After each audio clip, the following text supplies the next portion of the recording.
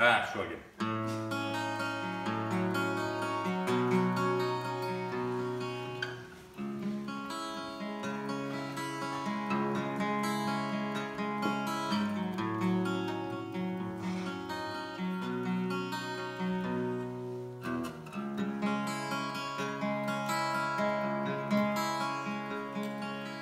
she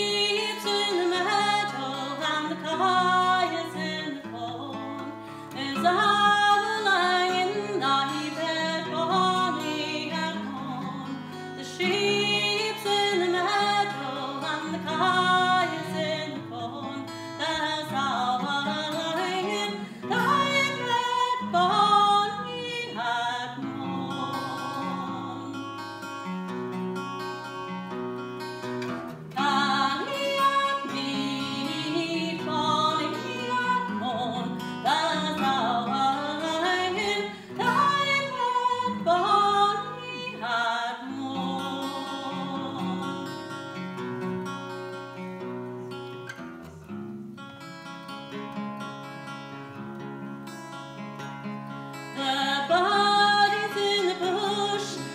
try.